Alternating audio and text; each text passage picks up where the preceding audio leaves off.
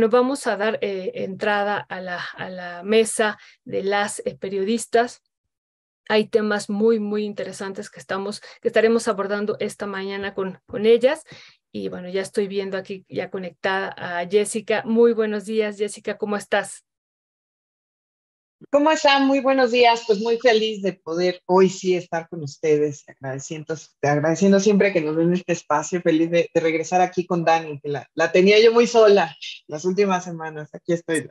Y muchas gracias, Jessica. Bueno que ya estás por acá. Dani, muy buenos días. ¿Cómo estás?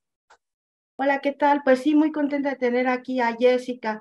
Luisa todavía no nos quiere contestar, no quiere saber nada de la realidad este, del mundo y de los horrores. Entonces, bueno, pero qué bueno que ya está aquí Jessica, porque sí, la verdad es una mesa, aunque ha estado genial la participación de Laura, de Marta Olivia, de Alina, bueno, pues Jessica y Luisa, pues ya, me, ya, ya es la, la mesa, o sea, el momento esperado para mí de todos los jueves, entonces, qué bueno que ya está aquí Jessica. Y tendremos que seguir esperando a Dani, quién a, a Luisa, quién sabe cuánto tiempo, Dani.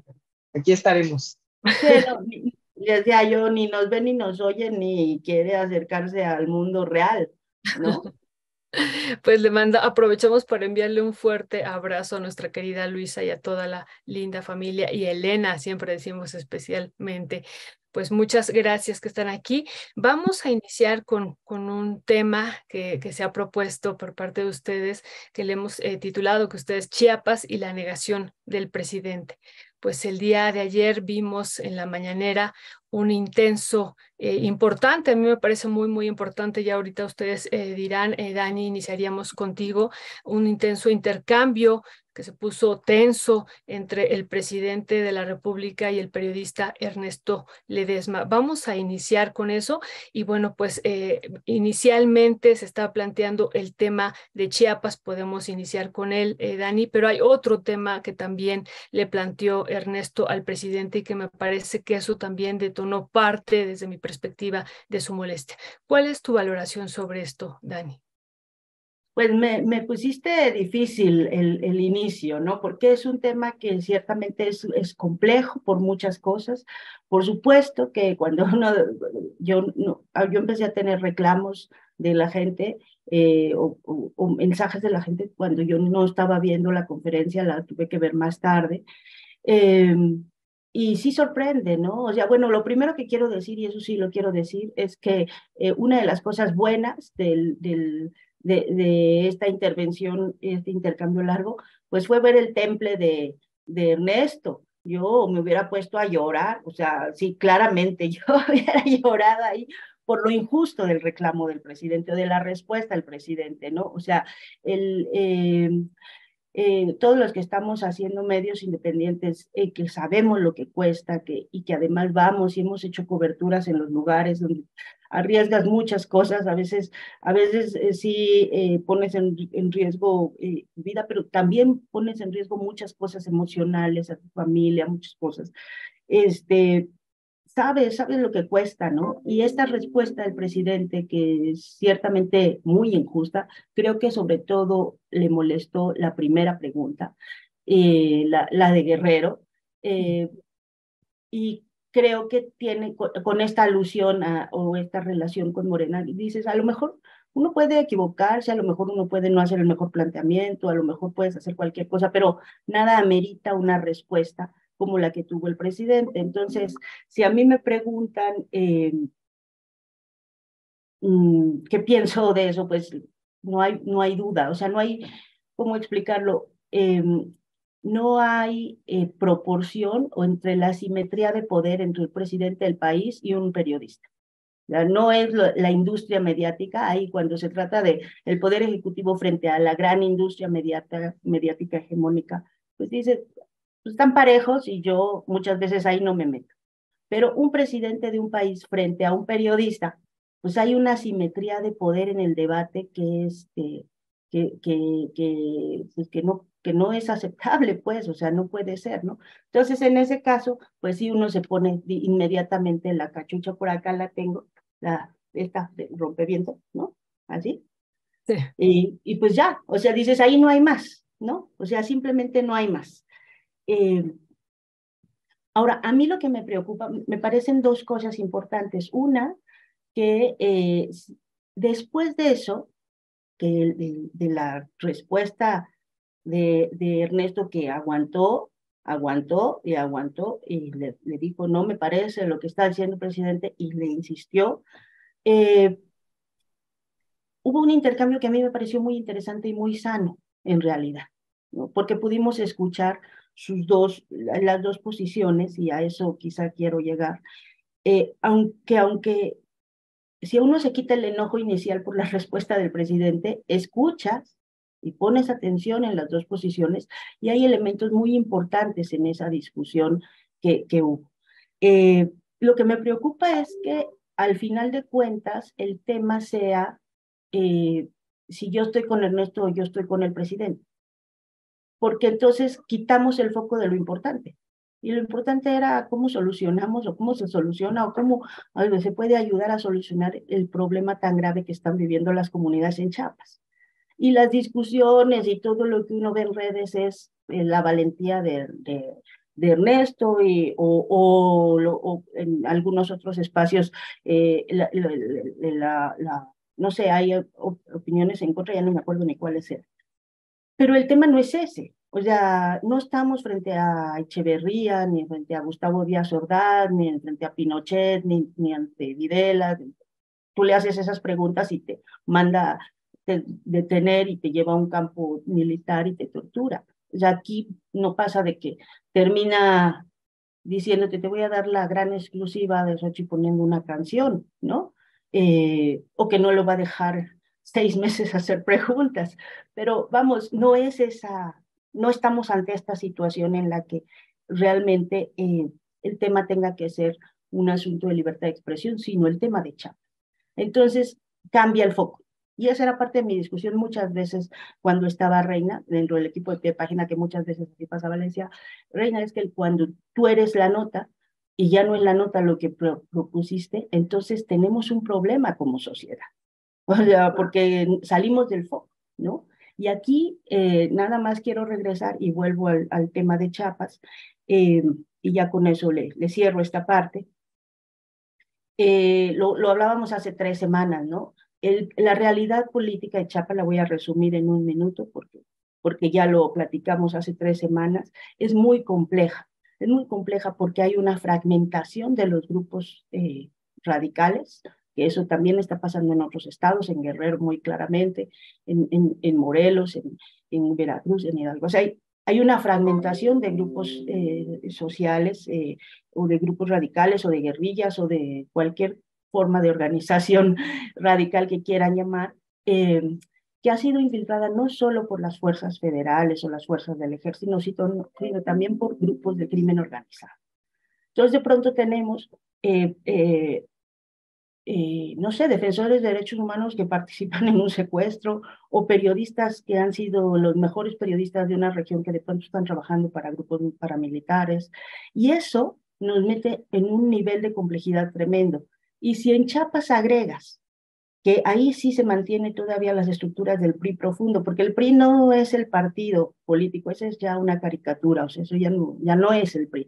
El PRI profundo son todos los cacicazgos, todos estos terratenientes que, que, justo en las zonas eh, indígenas es donde tienen este poder y que ese es, el, ese es, lo, es lo que se mantiene de lo que era el PRI.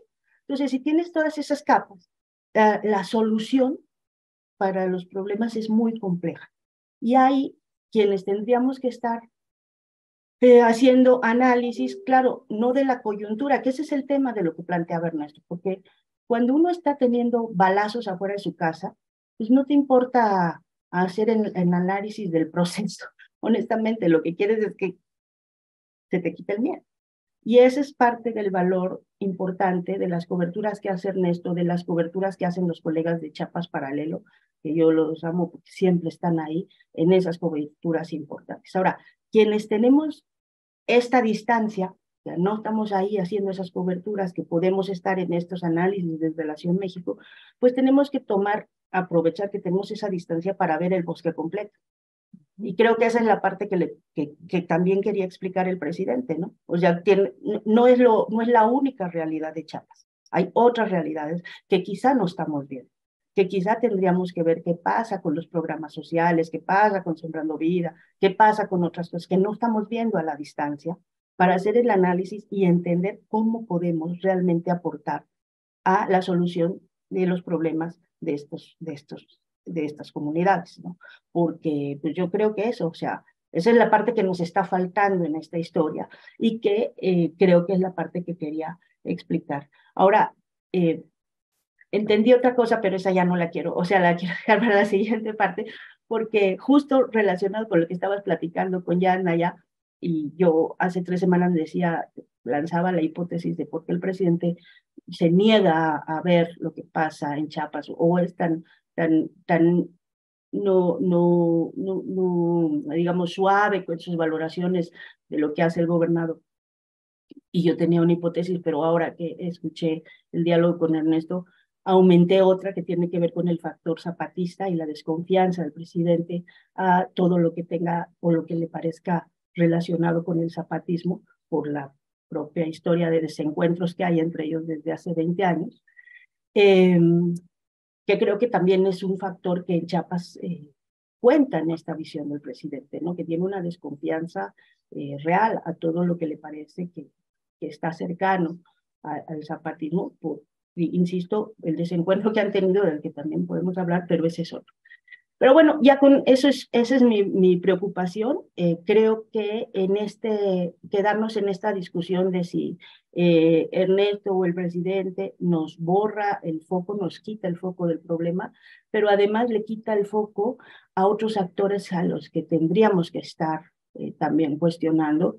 Porque yo digo, pues los diputados, los senadores de Chiapas, pues viendo con palomitas la mañanera los, el, Poder Judicial en Chiapas viendo con palomitas la mañanera, los otros medios que no son Chiapas paralelo, pues viendo con palomitas la mañanera, ¿no?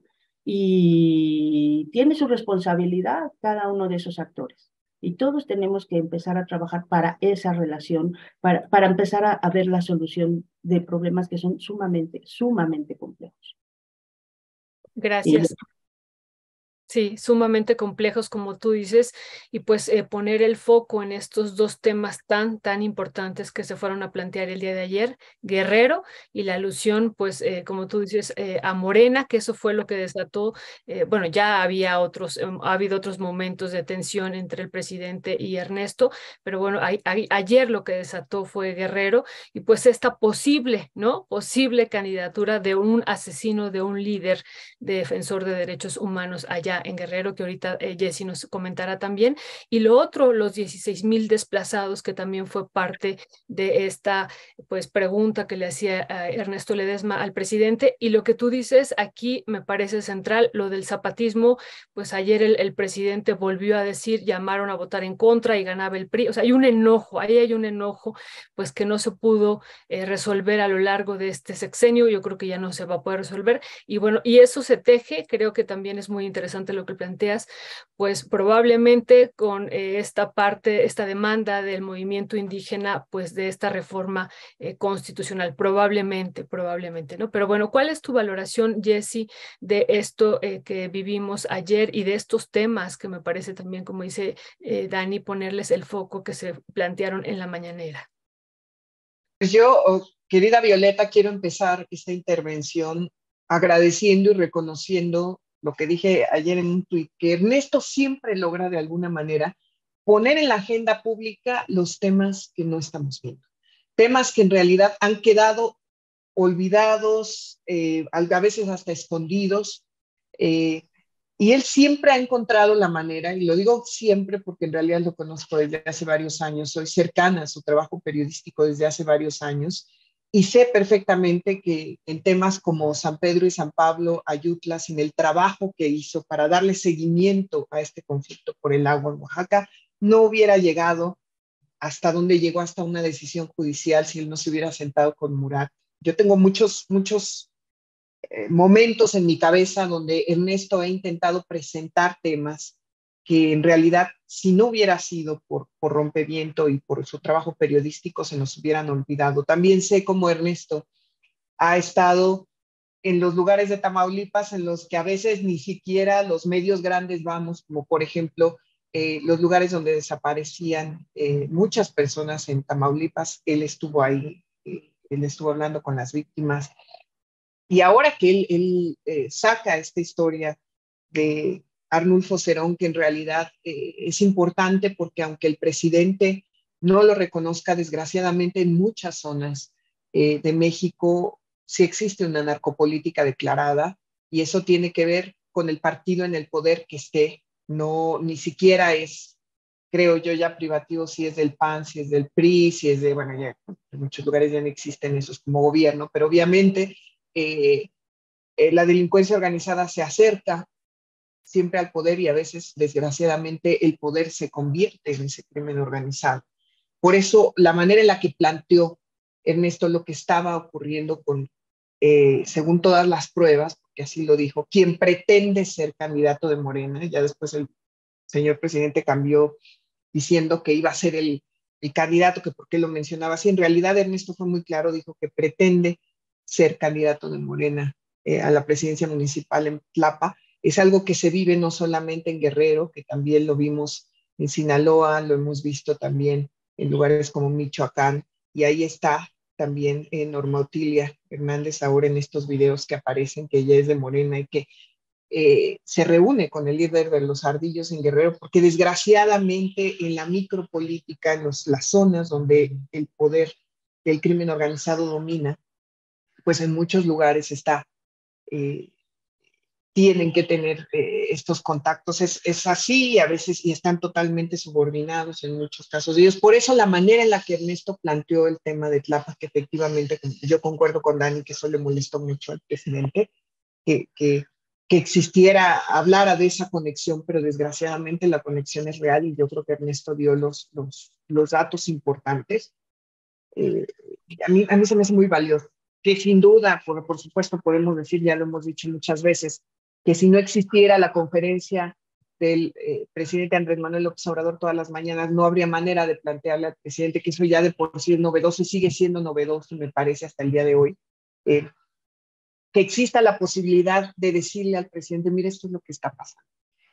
Eh, aunque también yo creo que Andrés Manuel López Obrador fue muy claro y lo que dijo es que él se siente en tiempos de definiciones, que él no puede estar con matices, ¿no? Lo dijo claramente, es la posición que el presidente ha tomado prácticamente desde el principio y yo siento que eh, pues en los últimos años, en los últimos meses se ha, recrudecido esta postura, pero simplemente que exista la posibilidad de que alguien con la clara, eh, eh, estoy totalmente de acuerdo con él porque yo me hubiera puesto nerviosa, hay otros que, se repliegan ante la manera en la que responde el presidente, otros se vuelven más combativos, ¿no? Atacan. En, en el caso de Ernesto, yo creo que dijo lo que tenía que decir y por eso yo siempre eh, he valorado su trabajo y, no puedo más que apoyarlo eh, eh, en este momento y, y, recordar, recordar todas las veces que Ernesto nos ha traído a la agenda pública temas importantes. Yo, yo lamentaba mucho ayer cuando López Obrador dijo, es que ustedes nunca han hecho un reportaje sobre el paramilitarismo en Chiapas. Y yo recordaba todos esos reportajes largos de Ernesto, donde ha dado a conocer esa terrible realidad y por eso está tan comprometido con el tema de los desplazados, específicamente en Oaxaca y Chiapas, porque él los conoce y además ha dado, ha dado datos de cómo se han multiplicado eh, los desplazados en Chiapas, desgraciadamente, en los últimos años, es decir, durante el sexenio de Andrés Manuel López Obrador, y hablamos también de, de Rutilio Escandón, ¿no? Lo hemos hablado varias veces ¿no? por este tema y por otros de cómo pues en realidad parece un, gobierno estatal totalmente disociado de la realidad que él está por su lado. Ana Augusto López lo hemos dicho. Entonces, yo, yo solo quiero terminar eh, esto eh, diciendo que yo siempre he visto a un Ernesto cercano a la gente, siempre ha, dado más allá, eh, pasos más allá para comprometerse a, tratar de evidenciar una realidad que está contaminada, que es que duele, que lastima. Y lo que pasó ayer en la conferencia matutina es simplemente otro capítulo más en la vida periodística de Ernesto, de, cómo él eh, argumenta y, presenta los temas con mucha rigurosidad y por eso yo siempre estoy aquí sentada y siempre, siempre tendrá mi apoyo, ¿no? Es lo que quiero. Gracias, eh, Jesse. Pues esto que tú pones en, pones también un punto importante, esto de yo no puedo matizar, es tiempo de definición, eso me parece a mí central, incluso, bueno, Pie Página ha sacado un artículo interesante sobre esta declaración que hace el presidente. ¿Cuál sería tu valoración sobre esta afirmación, Dani, que me parece a mí parte central de la discusión también de ayer?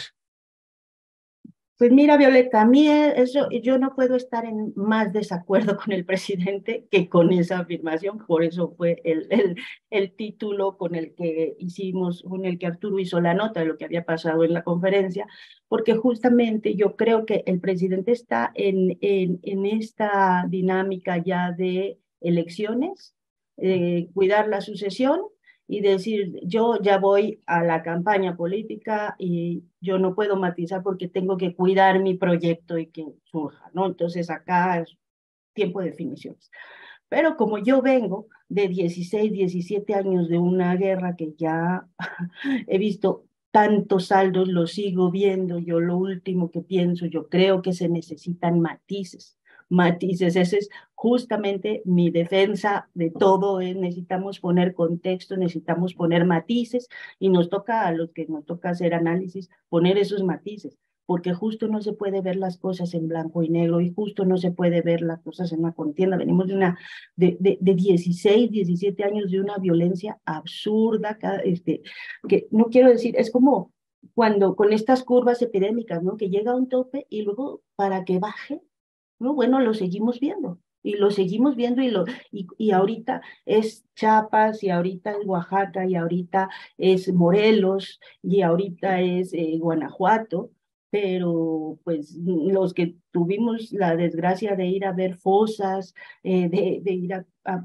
a, ver las historias terroríficas de Coahuila, de Tamaulipas, de Ciudad Juárez al inicio de estos 17 años, bueno, ya estamos agotados también. O sea, y la gente que vive ahí, ni se diga, o sea, vive en el terror todo el tiempo. Entonces, eh, yo es cuando creo, no, tiene que haber matices, justo tiene que haber matices. Eh, entiendo su posición, pero yo creo que está absolutamente eh, equivocado. Yo creo que tiene que haber matices, yo creo que tenemos que buscar explicaciones, ¿no? Eh, para todos los que hemos estado y hemos seguido las historias de los pueblos, de los acuerdos de San Andrés, este, este distanciamiento y esta fractura, eh, y que no estamos, vamos, ni militamos en, en, en el obradorismo ni, ni, ni, en el zapatismo, pues esta fractura eh, que ha habido desde los últimos, desde 2003, cuando ya eh, fue eh, la, el 2004 el rompimiento del zapatismo con, con lo que, el PRD, pues entonces el PRD eh, por, por, por, el no cumplimiento de los acuerdos de San Andrés, pues siempre es una tragedia porque tienes al, al, a, a, muchos amigos, muchos, muchos eh, aliados, mucha gente con la que compartes cosas de un lado y del otro, este, cada vez como en este, cuando estás en medio de un matrimonio que, que se separa y ya no sabes, o sea, unos te dicen una cosa terrible y los otros también, y dices, eh, es que para mí el adversario está enfrente el adversario está en, en, en, estas otras oligarquías, ¿no? Para mí, veo de un lado y del otro y, y, y a veces parece irreconciliable, porque ya ha habido muchos agravios. De, de, de ambos lados, ¿no?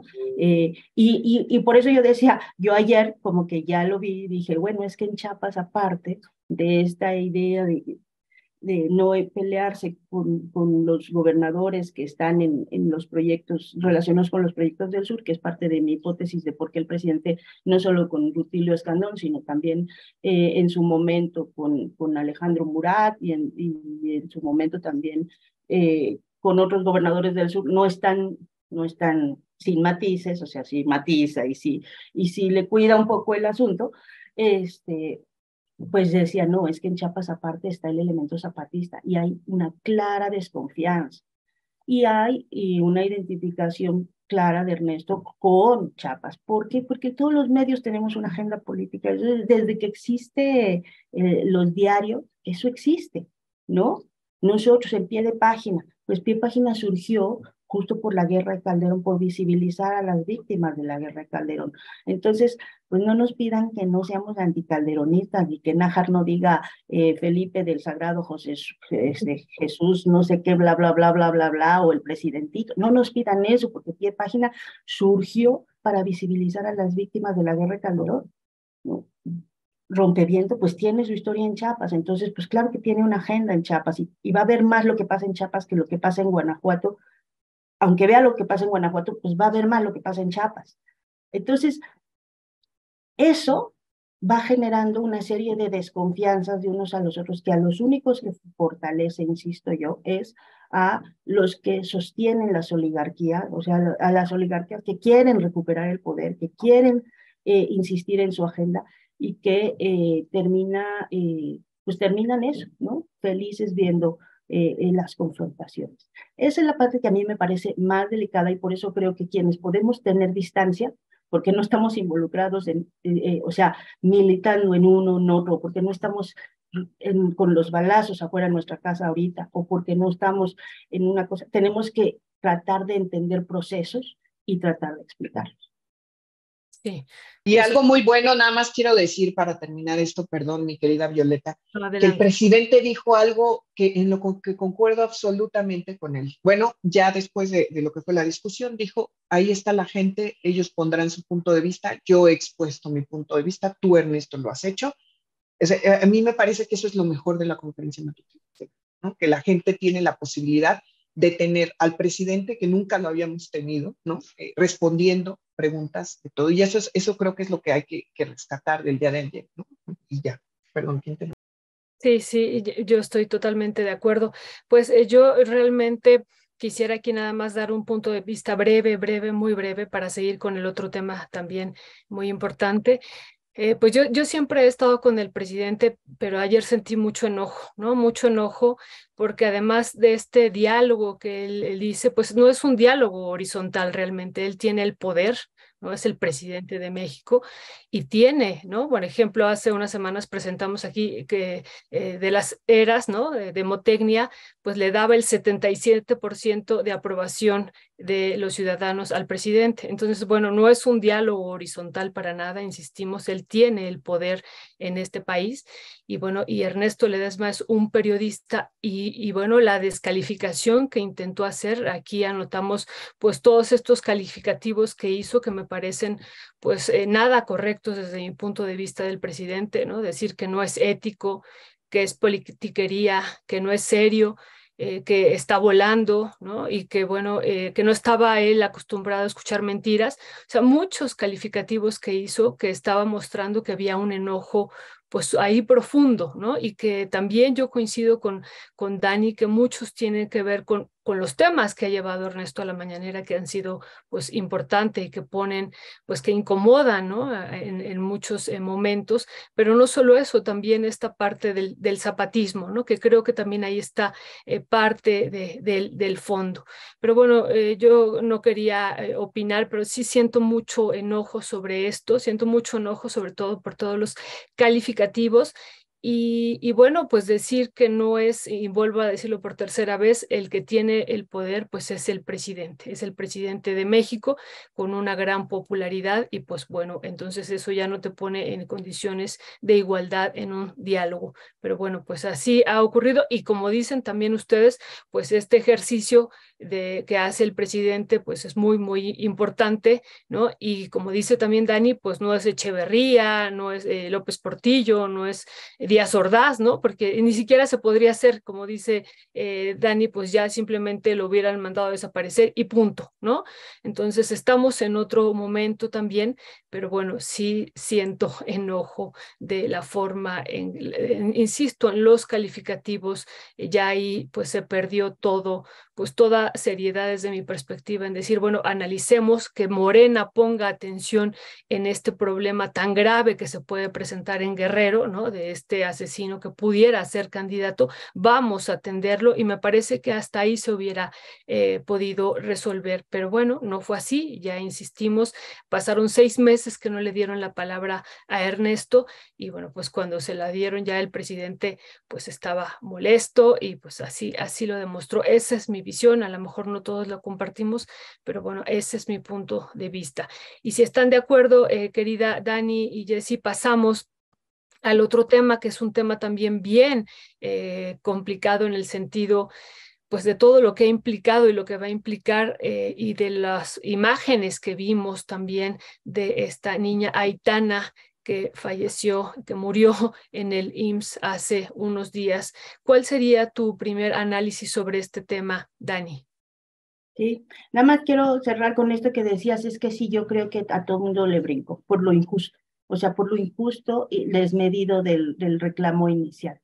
Pero eh, me parece que rescatar eh, por eso decía yo, esta, esta forma de responder de Ernesto, de no, de, de, de, mantenerse y de sostenerse, decir, bueno, tengo esta otra pregunta, permitió que pudiéramos tener esta otra segunda parte, que, que, que, es, que eso sí es muy rescatable. ¿No? O sea, porque cuando ya se le fue quitando el enojo, también fue explicando su razón. Y eso es, y eso es importante. O sea, lo que se abrió es una cosa importante, más allá del enojo inicial, que yo creo que pues ahí todos coincidimos, porque pues, es que es injusto, o no, no te metan a todos en el mismo, no nos metan a todos en el mismo saco, porque ahora sí que desde este lado también podemos decir, no somos lo mismo, ¿no? Eh, entonces, bueno, creo que es eso lo que todos compartimos, ¿no? Pero quitándole la parte de esa y tratando de hacer análisis más, más, pues con más distancia, como dicen, cabeza fría y corazón caliente, ¿no? O sea, con la cabeza fría, pues nos tenemos que empezar a buscar opciones y salidas a la situación que están viviendo en esas comunidades, y no es fácil. Y entonces esa es la parte que a mí me parece más importante. Igual de IMSS, eh, yo creo que contestar a lo que contestara el IMSS eh, nos iba a molestar. Y nos iba a molestar porque eh, eh, es el cúmulo de agravios, es el cúmulo de agravios históricos que traemos guerra, pandemia, eh, indolencia muchas veces, de, eh, el desmantelamiento del, servicio público, la burocracia. Entonces, cuando traemos cúmulo de agravios y pasa una cosa tan terrible con, con, una niña de seis años, cualquier cosa que conteste nos va a molestar. Eh, y lo digo porque me, me pongo como en el lugar, ¿no? De quienes tienen que dar las respuestas y dices, pues es que no hay respuestas, o sea, hay, hay una cosa que no debió ocurrir, que, que, y que tiene muchos elementos de, de la historia detrás. Uno sí, claro, es este, esta subrogación de todo, que empezó, lo hemos analizado en el tema de, la, de las universidades, eh, eh, con Ernesto Cedillo, en el tema del salud con Fox, muy claramente, este, con, con Fox, y que llegó un momento, yo recuerdo que una vez que entrevisté a la ex secretaria de Economía sobre el asunto este tan polémico de, las, de que le había pedido a la gente, a los funcionarios que llevaran o que pusieran sus computadoras, me decía es que las computadoras las rentamos. O sea, ¿cómo es que la Secretaría de Economía renta las computadoras que usa su, su, el personal, los funcionarios de economía? Pues así es. Entonces se rentan ambulancias, se renta, o sea, todo está subrogado, todo en el servicio de salud y mucho en el tema de las universidades en el tema de todo está todo, esa es, esa es la, la, la privatización invisible y eso es así como llegamos. Ahora, ¿qué tanto le ha sido posible o no avanzar a esta administración en esto? Ese es ya otro tema, ¿no? Eh, que también tendríamos que analizar con una pandemia en medio. Eh, ¿Y qué tanto se generan estas expectativas de nuevo cuando el presidente dice vamos a tener un sistema de salud como el de Dinamarca y tú vas al sistema de salud público y dices no, realmente nos falta mucho, o sea, estas expectativas y esta generación de, de, de asumir los compromisos. Entonces, eh, hay un desmantelamiento de lo público. Ese es, ese es el elemento número uno, ¿no? Luego hay una eh, impunidad y una falta de responsabilidad de las autoridades eh, permanente, cotidiana, que ya nos cansa. Entonces, cuando ya no ves que, haya un, asumir la responsabilidad del IMSS de la parte que le toca, alguien decía en los comentarios, este, es que no hay un supervisor eh, que haya revisado que el trabajo que hizo de mantenimiento la empresa privada se haya hecho Dice, pues no, no lo hay. No han ido al sistema de salud pública y no han visto que no, no lo hay. No está ese personal, no existe ese personal. Eso es una realidad. No hay. No hay gente, o sea, trabajan en muchos casos con, lo que pueden. Eh, entonces, eh, creo que ese es como el otro elemento que hay, que, que tendríamos que revisar. Y, y, bueno, pues el caso acá, eh, no sé ya, o sea, es, son historias de un país, o sea, que volvemos al tema de Chiapas, hay 16 mil desplazados, no debería haber ni uno. ¿no? O sea, son cosas que no deberían ser y que no sé cuánto tiempo va, va, puede pasar para que dejen de ser, pero que mientras sigamos distrayéndonos, yo creo, en pleitos y en otras cosas entre, entre gente que, que puede aportar y desgastándonos en otras cosas, pues estamos también aportando a la, a la falta de, o sea, de, de, presión para que, o no sé si de presión, pero sí de acciones para que esta, eh, tendríamos, lo que quiero decir es que para que se transformen estas cosas que están tan abandonadas, tiene que haber la concurrencia de muchos actores que luego no están, ¿no? Porque nos distraemos en otras cosas, estamos peleando en Twitter o yo no sé qué, ¿no? Y que tendría que haber esa concurrencia para evitar estas cosas, porque lo que no debe pasar es que haya. Ahora, que se vaya alguien a la cárcel, pues, pues a lo mejor nos, ¿qué nos resuelve o qué le resuelve a la familia? Pues sí, a lo mejor tiene que haber esas responsabilidades y ya cambiar definitivamente algo, pero en términos de qué resuelve y qué hace que se evite que vuelva a ocurrir una cosa así, que creo que es lo más importante, pues no estoy segura que con que, con que alguien se vaya a la cárcel ya lo vamos a resolver, ¿no?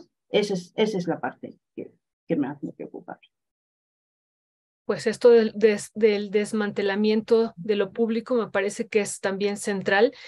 Y Jessy, ¿cuál sería tu, tu valoración? También hemos visto algunas declaraciones, pues estas últimas horas de que el camillero, pues bueno, ha sido liberado y él se dice también víctima de lo que se está viviendo en, en el IMSS. ¿Cuál sería tu primer análisis sobre esto, Jessy?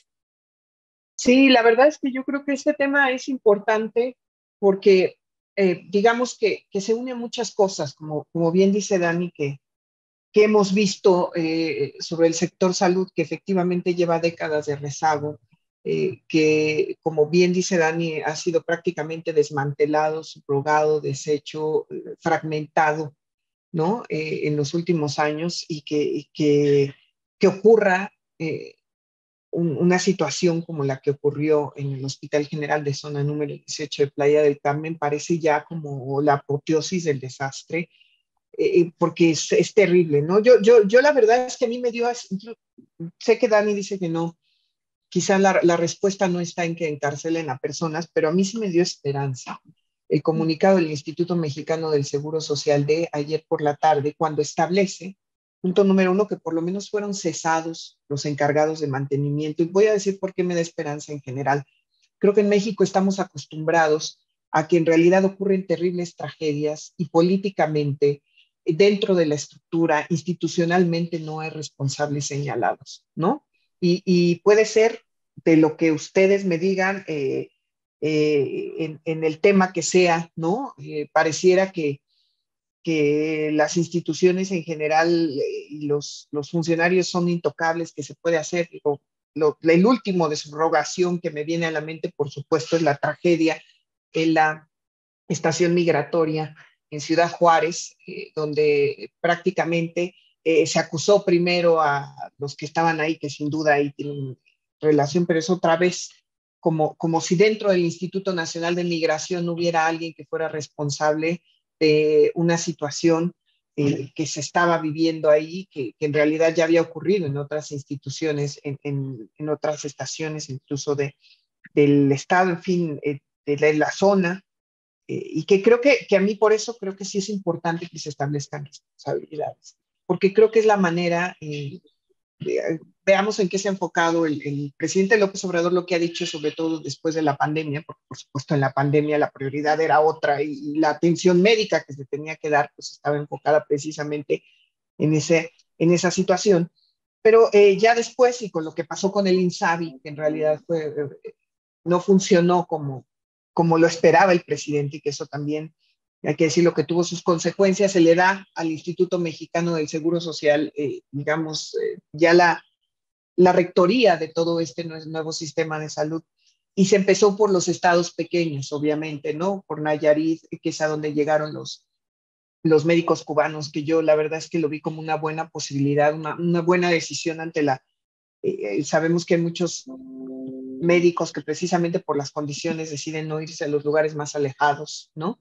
Eh, y creo que se han hecho, por lo, por lo menos lo que, lo que a mí me ha llegado, la información, se han hecho muchos avances en eso, digamos, en, en los espacios pequeños, en, en, los estados pequeños, Baja California Sur, en el caso eh, también de Nayarit, eh, que se ha logrado cubrir, digamos, ¿no? Eh, cambiar un poco el panorama de la salud pública en esos lugares.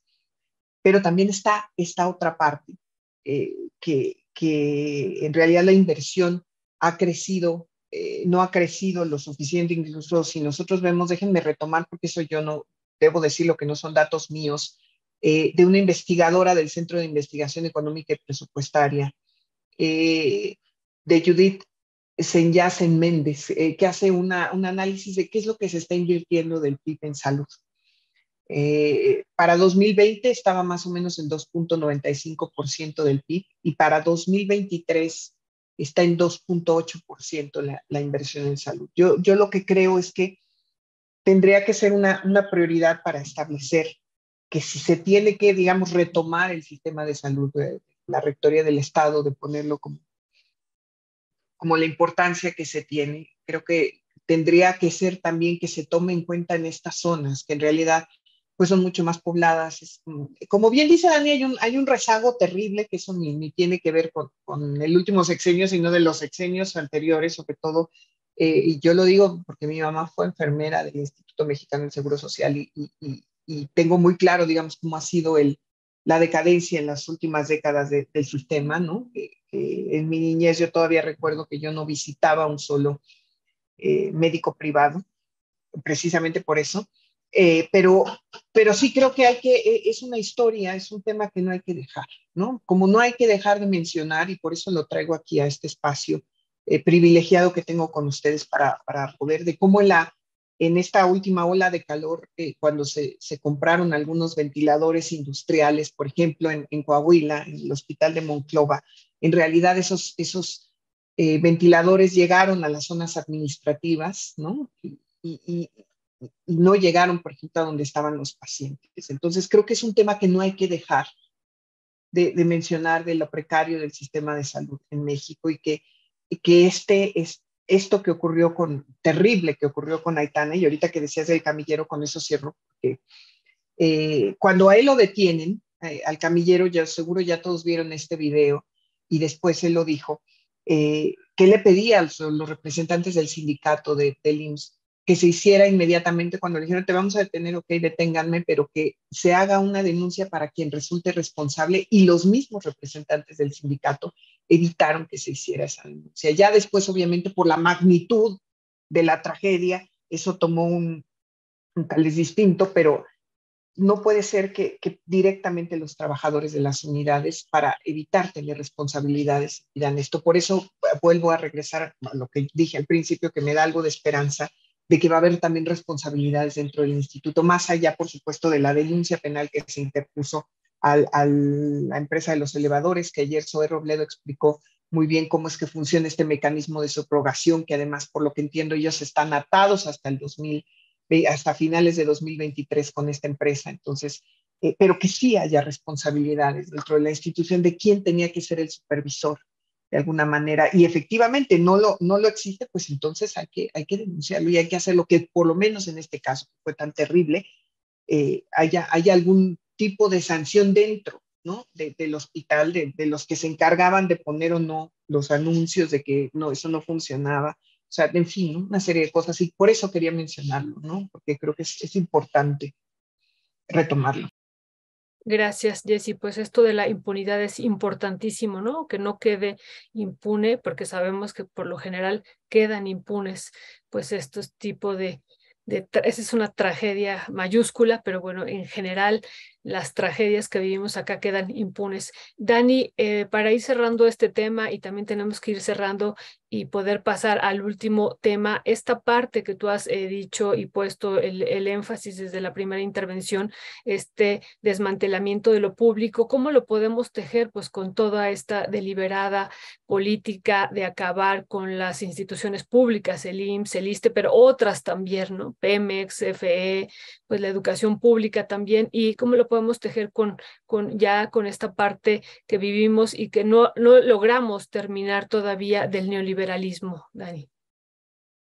Mira, ahí yo lo que voy a hacer es como más bien una reflexión que tengo ya desde hace tiempo, que es un poco incluso autocrítica de lo que, eh, de cómo, eh, porque para mí es muy importante el papel de los, de, los, de, los medios de comunicación, digo, por eso estamos en estos espacios, por eso intentamos hacer cosas independientes de, de, de los medios hegemónicos.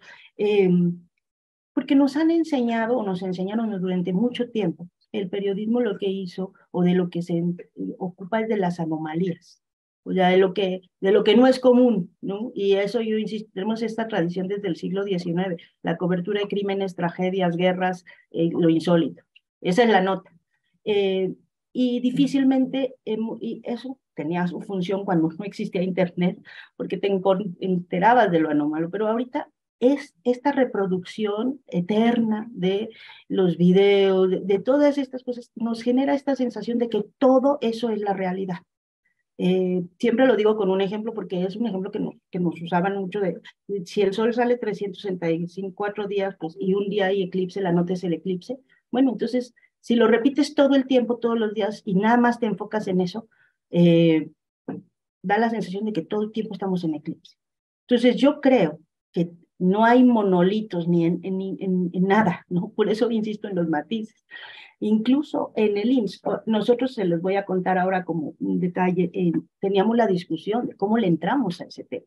¿Cómo le entramos uno desde acá? Porque si no hay un colega en Quintana Roo que pueda ir y reportear, ¿cómo le haces acá que no sea copy-paste de otras notas que tienen la misma información?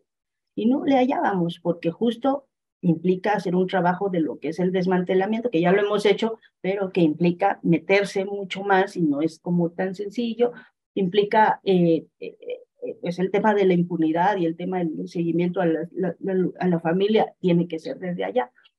Y, y en ese contexto, de pronto ayer teníamos dos notas, que son dos de las que al ratito no si iban a hablar de esas en, más tarde, pero una era esta de Arturo, del, del, de, de algo que es muy novedoso y tiene que ver con Chapas y tiene que ver con el IMSS, o sea, los dos temas, ¿no? Es ah, un grupo que por fin, por primera vez, el primer grupo que tiene traductores de lenguas eh, eh, de distintos pueblos en, en, hospitales, porque eso no existe en México. O sea, ¿cómo es que en, en, comunidades o en lugares donde la mayoría de la población habla alguna lengua no haya traductores, ¿no? Eh, creo que es una cosa estructural de racismo, estructural, es que bueno, pues hay, y eso está ocurriendo en Chiapas, en ese Chiapas del que también estamos hablando y en este IMSS del que también estamos hablando, donde ocurre lo horrible. Em, luego, en la otra era justo en la Ciudad de México, el personal de, de, salud de la Ciudad de México que está pues con miedo a perder las, o, a precarizar más su trabajo ahora con el paso al IMSS Bienestar, porque también hay un tema de derechos laborales en todo este campo. Todas esas cosas que hay que ver que son muchas, de pronto no las vemos por estar viendo solo una cosa y repitiendo todos y todos y todos la misma cosa, el mismo video, la misma cosa que nos indigna, pero que no nos permite ver todo lo demás que hay implicado. Y, y creo que esa es la parte de la cosa que yo desde hace tiempo vengo pensando que tenemos que estar revisando ya en cómo hacemos el periodismo, en este periodismo que está eh, o sea, y, en, este, en, este, espacio y en este tiempo en el que estamos sobreexpuestos a impactos informativos todo el tiempo, todo el tiempo. O sea, no acabas de salir de una y ya estás en otra. Y si todo es la misma cosa, nada más, la, no, nos asustemos de la depresión, no nos asustemos de la depresión colectiva, porque pronto parece que no hay salidas, que todo es horrible. Y hay otras cosas que y hay otros procesos que cuidar. Entonces, yo más bien ahí lo, lo vería así, Violeta, como con esta reflexión muy autocrítica de parte de los periodistas de cómo estamos haciendo el periodismo y de parte también de las audiencias de cómo estamos consumiendo información. En, en, pie de página tienen prohibido mandarnos videos de cosas horribles sin antes tener información, o sea, mandarnos al chat de nosotros. Miren esto, porque siempre era, lo primero que haces es retuitear y no sabes si es real, si no es real, si tiene contexto, si, o sea, qué información hay más que el video de la, la, cosa horrible que estás viendo. Entonces, eso es una cosa prohibida por salud mental del equipo. Primero se confirma, primero se ve, primero se entiende qué pasó y ya con la información completa nos avisas qué está pasando, ¿no? Porque eso es muy importante. ¿No? Entonces eso a mí es eh, quizá lo que me deja eh, de esta mesa, eh, de los dos temas de esta mesa que son tan complejos, la principal reflexión, ¿no? Entender cómo para qué y cómo estamos consumiendo y difundiendo la información. Esta pregunta de para qué es clave, clave, clave. Pues totalmente de acuerdo, Dani. Eh, si están eh, de acuerdo, tenemos dos minutos para abordar o, lo dejamos pendiente, como ven, lo del ángel de Marcelo Ebrard. Eh, o en dos minutos, querida Jessie, ¿cuál sería tu reflexión sobre este proyecto que está haciendo Marcelo Ebrard? Bueno, es que claramente le quiso como ganar el punto, ¿no? A Claudia Sheinbaum con el tema de la seguridad, que creo que es uno, así como este de salud, ¿no? Que inmediatamente hablamos de salud, toda la gente cuenta sus historias de cómo le ha ido en el sistema de salud pública, que es algo que nos concierne a todos. Me parece que, que lo que Marcelo Ebrard eh, trató de hacer, obviamente, es ganarle el punto a, a, Claudia con su experiencia como secretario de Seguridad Pública. Me decía, Dani, tienes que ver todos los memes sobre el tema.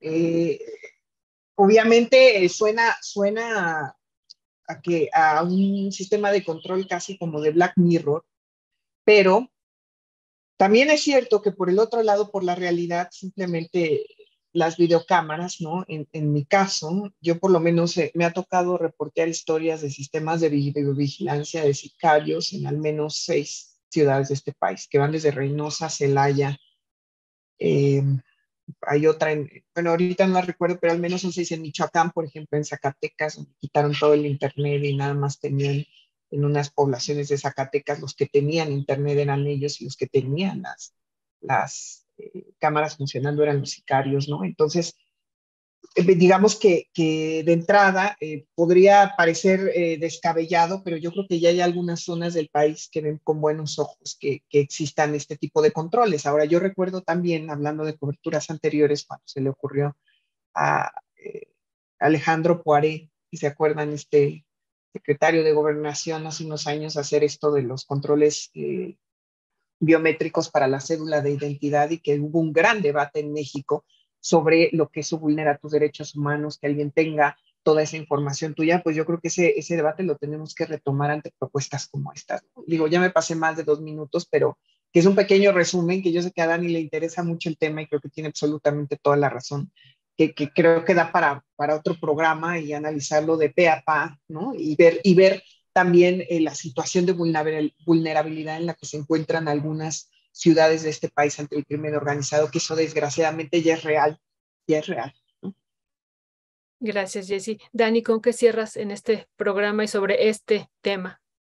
Yo, nada más rápido, eh, a mí me interesa porque la primera vez, y de hecho única, que yo entrevisté largo a Marcelo Ebrard, él era secretario de Seguridad Pública de la Ciudad de México y acababa de contratar como asesor a Rudolf Giuliani y traía el programa de tolerancia cero. Entonces, ahora que presentó su proyecto de Ángel, que todo el mundo estaba muy indignado, y yo decía, pues es Ebrard siendo Ebrard, ¿no? o sea, tampoco es como de qué nos sorprendemos, ¿no? O sea, es Ebrard siendo Ebrard y, eh, y, y, con unas cosas como importantes que, que también hay que reconocer, o sea, porque tampoco es, eh, a veces vemos esto, ¿no? Lo leemos y de inmediato sale los análisis de, eh, desde, el, el, estómago y diciendo, no, nos va a perseguir. Y lo que hay que hacer es analizar sus acciones dentro de, porque Mira, la ventaja que tenemos con cada uno de los precandidatos, eh, con excepción de, Fernández Noroña, es que ya todos gobernaron. Entonces, eh, se puede ver lo que hicieron, más allá de lo que propongan o no propongan, digan o no digan, pues ya, ya todos gobernaron en algún lado. Entonces, podemos hacer el análisis a partir de sus acciones de gobierno, que es, me parece una cosa mucho más concreta que lo que se puede hacer. Pero sí, eso creo que tiene, eh, da para, para un programa incluso de las, propuestas de todos los, precandidatos de Morena, ¿no? Eh, cómo gobernaron y, sobre todo cuál es la agenda social que tienen, porque pues se supone que tendrían que tener una agenda social eh, pues progresista, de izquierda, porque, ¿no? porque son los candidatos de ese, de que, que buscan continuar el proyecto del observador. Entonces, creo que daría para hacer un análisis de cómo gobernó cada uno de los precandidatos. Dani, una consulta. ¿Esta entrevista que le hiciste a Marcelo Ebrard está eh, publicada? Sí, sí, en la jornada. Yo estaba en, en ese tiempo en Maciosare, un ah, extraño suplemento que salía los domingos. Sí, sí, político. sí, sí, eh, Entonces ahí lo podemos rescatar. Sí, ahí está la entrevista. Este, y, y sí, bueno, y, bueno, pues para mí es eso, ¿no? O sea, yo, yo cuando me lo dijeron, yo dije, pues sí, es Ebrard, este, siendo como, o pensando en el tema de la seguridad como ha pensado los últimos, por lo menos 20 años. Supongo que antes también. Así es, Marcelo Ebrard, siendo Marcelo Ebrard, esa frase es con la que cerramos en, este, en, en, esta mesa. Pues muchas gracias a ambas, querida Jessie, querida Dani, pues ya estaremos viéndonos la próxima semana y esperemos que ya se esté incorporando nuestra querida Luisa, a quien le mandamos un fuerte y un beso enorme a toda la familia. Muchas gracias y muy lindo día. Pongamos a los santitos de cabeza para ver si así nos escuchan. A San Caralampio.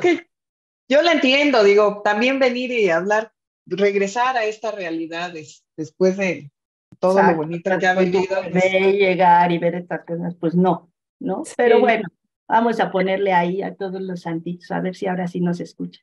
Sí, así es. Pues un abrazo, queridas, y linda, linda semana. Hasta la próxima.